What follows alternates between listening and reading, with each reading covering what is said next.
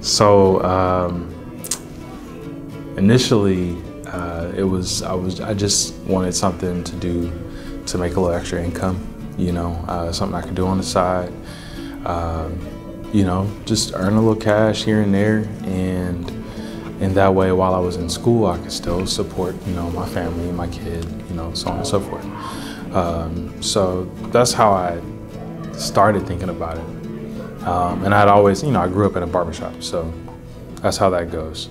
Um, then, yeah, um, when I finally decided to do it, I, I, had my nights that were available to me. Uh, when I finally decided to do it, I just jumped in, but my barber told me to consider cosmetology school. So I was like, all right, sure.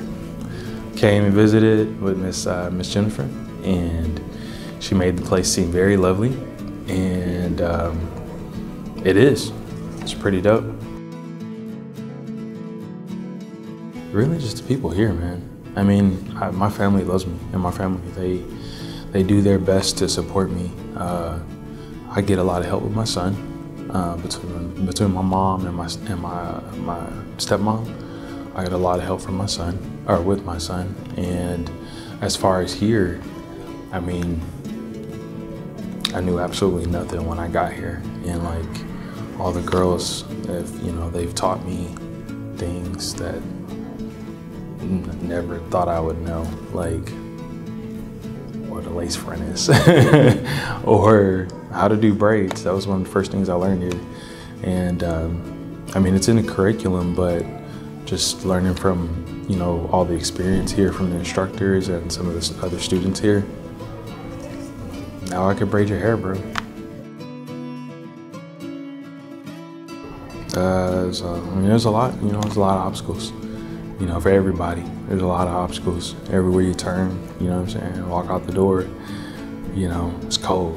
you know, that's the obstacle itself, or it's hot. And, uh, you know, you wake up and, you know, life ain't how you want it to be, you know what I mean? You got kids, you know, marital problems, you know, parental problems, you know what I mean? Financial problems like there's plenty of plenty of obstacles, and I've had them all, but you know, and so has everybody else. So,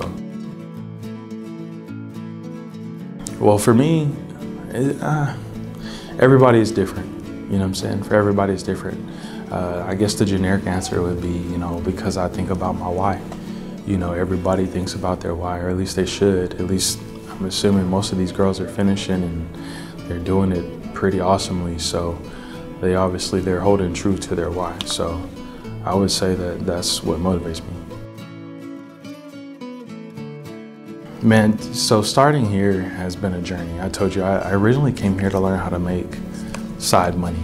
You know what I mean? Just to gain a skill that I could, and, and even for people who don't have a passion for it, it's, it's, a, it's actually a really good thing to do, you know? Like, yeah, I mean, it's fun, even if you aren't the most passionate about it, it's actually really fun. So if you if you want to if you can learn the skill, which everybody can, it is a good side hustle. But that's what it's that's what it started for me. Now it's become I don't know, it's come it's become how I express myself more than anything. I took a job uh, just not too long ago, which just made the finishing school really difficult. But I took a job not too long ago um, at a salon that really promotes like artistry. Um, and I absolutely love it. Like, absolutely love it. Everybody in my family is like, to some degree, an artist. Like, my mom is a beautiful singer. My dad, man, he can rip the hell out of. Oh, I'm sorry, is this still on camera? Well, he can rip, he can rip a saxophone, man. Like, my dad is cold on a saxophone. Um, and he plays piano, guitar. Like he, I mean, he, he does quite a few things, but he's extremely talented musically. Um, my sister, she's an amazing painter. My little brothers both sketch, uh, and I didn't. I don't do any of that. I don't do any of that. Um, and so, like, before I got into this, I didn't really have an art form, just appreciation for it. And this has given me an opportunity to not only have an art form, but to like, I feel like this is the art form for me. You know what I mean? This is the one I was gifted with. You know what I mean? I didn't know that until I got here on a whim.